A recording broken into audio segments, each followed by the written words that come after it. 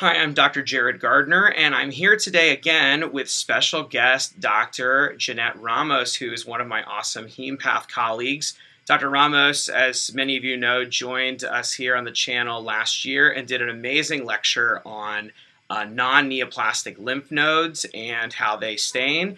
And since then, many people have asked for her to come back and teach more HemePath. And as you all know, I know very little about HemePath and I struggle with it.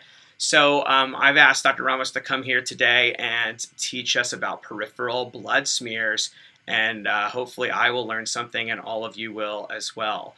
Um, Dr. Ramos, thank you for joining us. Thank you for having me. Uh, peripheral smears are sort of near and dear to my heart because when I was a post-sophomore fellow, this is when I was introduced to the heme world and uh, is what I did with my pathology mentor. Actually, when I continued on in years three and four in medical school, I think having a good understanding of peripheral smears is a good backbone uh, for getting in then into bone marrow aspirates and bone marrow okay. biopsies. So before you can actually evaluate the peripheral smear, the first thing you always do, really with any specimen, is check to make sure you have the correct patient name and specimen number. Right. And then you have to evaluate if the peripheral smear is satisfactory to review, and we'll talk about that in the next slide. The CBC has a plethora of information, and so knowing what the CBC can tell you can be very helpful in your evaluation. And that's complete blood count, right? Right. For anyone, we we often forget sometimes and use a, a lot of abbreviations in medicine and forget at what level people know those abbreviations or not. And then, importantly, you need to know what the question your clinical colleagues are asking you. And so that's also important for the clinical colleagues to tell us. For example, I had a peripheral smear once that came in with no information, and I went looking into the note, and the question was something I wouldn't normally address, which is, are there acanthocytes on the peripheral mm. smear? And so that's important to know, otherwise you may not get your question answered. And then you can finally look at your smear under the microscope and write your interpretation. So a good peripheral smear is has a film or where the, the film is with the blood. Okay. That goes two thirds to three fourths down the length of the slide. A smear that is too short is going to be problematic because it's going to be too thick. Hmm. And especially if you're looking at rouleau, in the thick part of the smear, you have rouleau like artifact.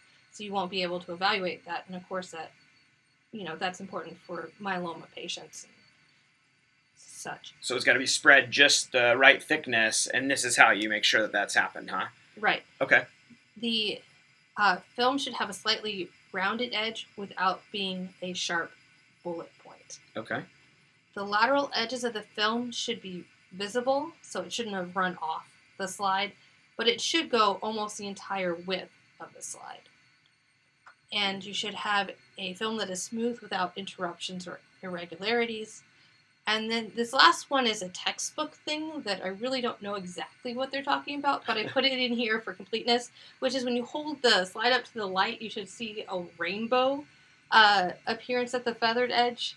And it sounds really pretty, and I wish I really understood what they were saying. but uh, there, there are many things like this in pathology where things are supposed to look a certain way, and in real life, uh, most of us mere mortals just shake our heads, right, and wonder, I don't get it, I don't see it. right. So these are some examples of not good peripheral smears. Okay. So the one furthest on the left, uh, as you can see, definitely has an interruption hmm. right here. Uh, not quite sure exactly what happened there, but all of that then is it's gone. So the blood's missing it's there. It's missing right? there. Okay. This one is way too short and and not wide enough, and we're not quite sure exactly why that was happening. Uh, because the tech that was doing this was actually a really good tech, and she repeated it, and the blood kept doing that multiple hmm. times. So it's also really important to talk to your techs and be like, "Hey, what happened here?" Um, and see if there's an issue like that. We also had in we've had issues where they were having trouble with the smears and the techs this blood is just really really thick. Turned out the patient was hyperviscous and it oh. actually you know promoted more laboratory workup. And then this is just poor staining. Yeah, it's a very different color. It's a very different color. I'm not sure what happened in the stainer, but that's also going to be suboptimal for interpretation. Great.